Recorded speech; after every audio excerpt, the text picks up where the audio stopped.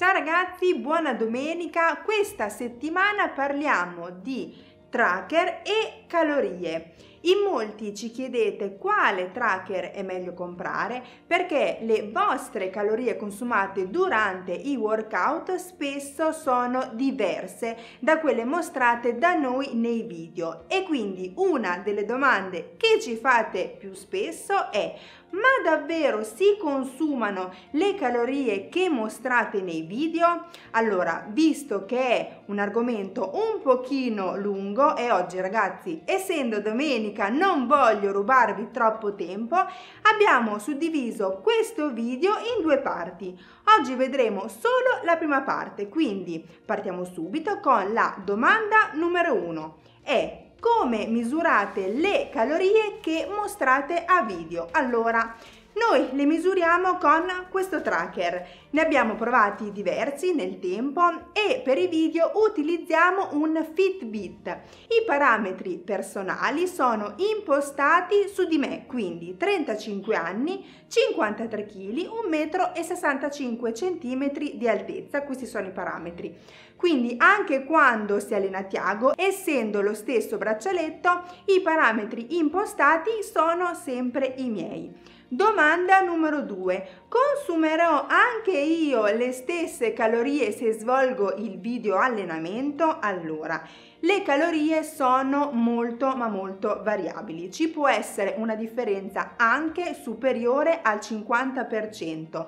Le caratteristiche individuali e l'intensità con cui svolgiamo l'allenamento determineranno quante calorie consumiamo. Per intensità intendo la frequenza cardiaca che si eleva all'aumentare della velocità di esecuzione degli esercizi e all'aumentare dello sforzo muscolare.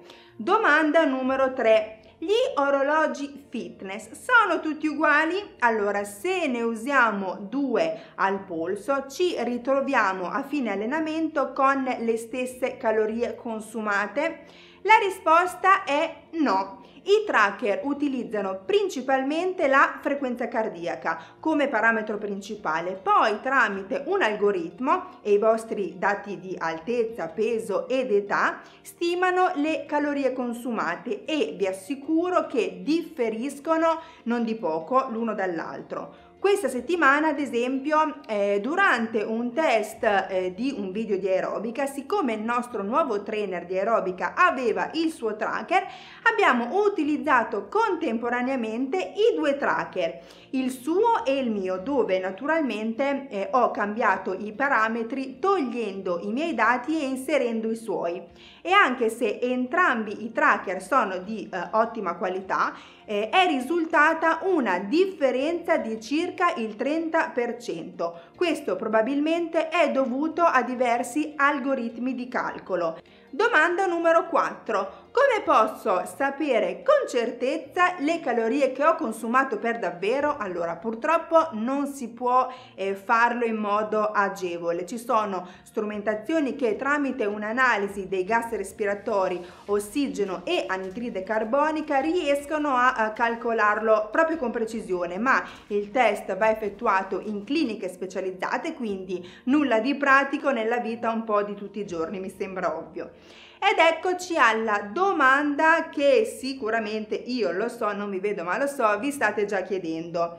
Domanda numero 5. Quindi sono inutili i fitness tracker e le calorie che indicate a video? Allora, questa è la domanda per eccellenza e restate con noi perché domenica prossima saprete come la pensiamo e perché naturalmente abbiamo deciso fin dall'inizio di inserire le calorie in tutti i nostri video. Bene, la prossima domenica concluderemo questo video lasciandovi utili informazioni e consigli naturalmente per un corretto uso della misurazione calorica. Se non lo avete già fatto ricordatevi di iscrivervi al canale e attivare la campanella per ricevere le nostre notifiche. E ora passiamo ai video della prossima settimana. Allora, questa settimana abbiamo workout per tutti i livelli.